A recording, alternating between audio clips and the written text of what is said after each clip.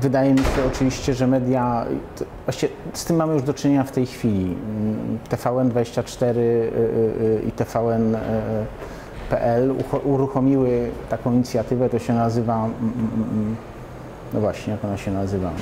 W każdym razie, że każdy, kto zrobi, jest w jakimś miejscu, gdzie się coś dzieje, może zrobić film telefonem komórkowym, zdjęcie.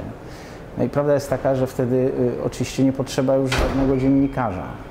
Oczywiście jest problem. Kiedyś y, pamiętam, y, dostaliśmy, to się nazywa kontakt, kontakt, TVN kontakt. Mm, dostaliśmy, kiedy była powódź, wspaniałe zdjęcie, ktoś zrobił telefonem komórkowym, jak zawala się most kolejowy. No niesamowite zupełnie jak się nie jest w tym miejscu, gdzie ta woda to robi, no to po prostu nikomu się nie uda zrobić takie zdjęcie, kiedy ona wygina te tory. No nie, nieprawdopodobne po prostu. No po czym był pomysł, że trzeba zadzwonić do autora i z nim porozmawiać, żeby on też opowiedział na antenie, no bo samo zdjęcie, prawda, nie wystarczy. No i wtedy się okazało dopiero, że no, ten człowiek tak naprawdę nie potrafi sklecić zdania i że nie można puścić na antenę tego, co on mówi, no bo się nie da. Widział pan e, ten wypadek? No, padała odpowiedź. E, przestraszył się pan? No. A co pan wtedy czuł? No. Więc e, mam nadzieję, że dziennikarz jednak zawsze będzie trochę potrzebny. Coraz mniej, coraz mniej, ale trochę.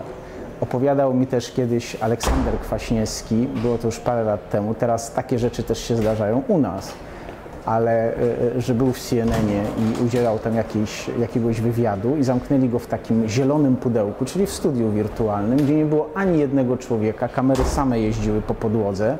Oczywiście była gdzieś reżyserka i ktoś e, tym wszystkim ruszał. Ale jak on się strasznie nieswojo czuł, a z sufitu leciał głos, który zadawał mu pytania. No i oczywiście prawda jest taka, że, że no, Podejrzewam, że taka też będzie przyszłość mediów typu TVN24, że na przykład zniknie reporter. Będzie e, e, coś w rodzaju stojaka, prawda, na kółkach, e, który będzie jeździł, a reporter będzie sobie siedział po prostu w redakcji, no i stamtąd kierował tym urządzeniem, które będzie rozmawiało na przykład z politykami w Sejmie.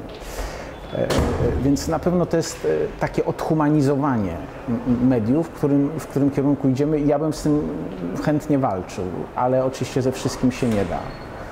E, e, czyli ta, ta cała strona techniczna, przenoszenie się też do wirtuala. Większość e, rzeczy, mój program jest robiony w studiu wirtualnym, a więc to jest prawda, właśnie takie zielone pudełko, w którym stoją dwa, trzy meble, a wszystko, cała dekoracja jest wyświetlana. W CNN już widziałem w czasie kampanii e, wyborczej, w czasie wieczoru wyborczego materializujących się reporterów e, e, w studiu, prawda? Więc też no, niesamowite rzeczy, które się mogą dziać.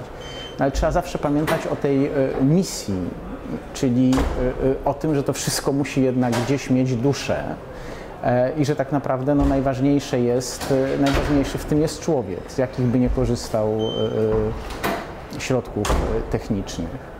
Oczywiście wszystko się moim zdaniem będzie powoli przenosić do e, e, świata wirtualnego. Ja jeszcze jestem pokoleniem, które nie wyobraża sobie dnia bez e, herbaty, kawy i takiego papierowego, szeleszczącego przedmiotu, który się nazywa gazeta. I niektórzy mówią, że on zniknie za jakiś czas. I też anegdota, która opisuje, jak to się zmienia.